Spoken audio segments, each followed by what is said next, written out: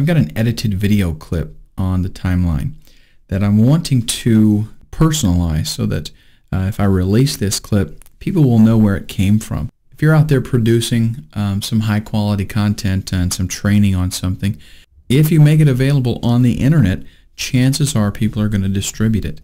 And you want to be able to at least get the credit for that. You want people to know where that video is coming from. To do that, we use what's called a watermark. And a watermark is an image that's going to appear faintly on the video and it'll appear during the entire sequence of the video. Now, in order to demonstrate this functionality, I'm going to have to produce our clip, and that's something that we haven't talked about just yet. So we're not going to deal with all the individual steps that are involved in producing a clip. All we're going to deal with is specifically the watermark issue. Now, first thing that you have to do is create the graphic for the watermark, and you're going to have to use an image editing application for that. I recommend that you use a black and white clip. You might want to do maybe your logo or website address or anything like that. But let's go ahead and first produce our clip. And again, don't worry about the production part of this because we're going to deal with that later on. We're going to produce the clip. I'm going to do a custom setting right now. And due to our screen resolution size, you're not going to be able to see uh, the next buttons. In fact, I can't even see them, so I've just got to hit enter. And only because I know that it's there, that's why I'm able to do it. Uh, we're going to do an AVI.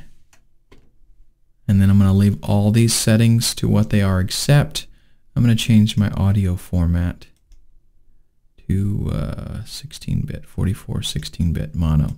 Again, this is stuff that we'll talk about later on. And next, we'll leave all this like it is and hit next again. And now here's where we do the watermark. Uh, I'm going to click include watermark first. And then we have to go to options. And we have to locate uh, where the watermark is, where that graphic file that we're going to use for the watermark is. Let's click and drag this over here.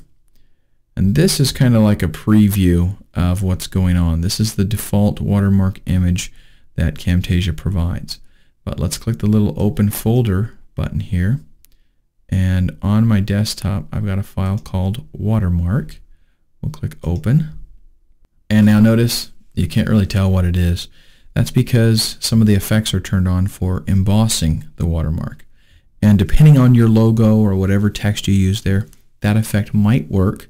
Uh, then again, it might not. Also, you can adjust the depth uh, and play with these settings to see if it works with your specific watermark. Now I'm going to turn it off and you can see it very clearly now, the little graphic that shows up there. We can adjust the opacity, make it a little more transparent. Sometimes that works really nice with videos. Uh, we can adjust the scale, make it larger or smaller. And we can select the position. Let's put it right here so you can see the whole thing. I can put it in the upper left hand corner, upper right hand, in the middle. Wherever I want to put that watermark, that's where I can put it. Okay, and we'll leave it in the lower right hand corner for right now.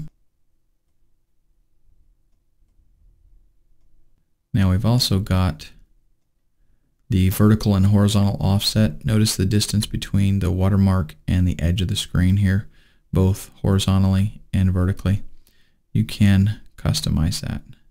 So you can get it pretty much exactly where you want it. Okay, let's go ahead and hit OK. And we'll just go ahead and do next. And next again. Again, I'm hitting the enter key just because I know that it's there. Unfortunately, we're not able to actually see it because the screen is not large enough. Now I'm going to deselect this option, but that's all I'm going to do. And we'll go ahead and produce our clip. Camtasia is going to render it. It's a pretty short clip, so it'll render fairly quickly. And the reason that I'm going to do this is just because I want you to see what it looks like once we're done. So I'm going to go ahead and fast forward now to the end of the render process. Okay, we're just about done. And now we're going to get a little preview. A let me stop this and I'm going to go to full screen mode. Okay, now what you're looking at right now is the video that we just produced. It's not my actual desktop, even though that's what it looks like, but it's the video that we just produced. And in the lower right hand corner, we've got our watermarked image and you can tell I made that somewhat transparent. Okay, so let's go ahead and play the video. Importing a video into Camtasia is very easy. Right click Okay, so you see how that stays in the same location. It's not affected by what's going on in the video. And then to get out of full screen mode, you can right click on the video and deselect full screen, or you can also hit the escape key. And we'll close the preview. And that is a watermark.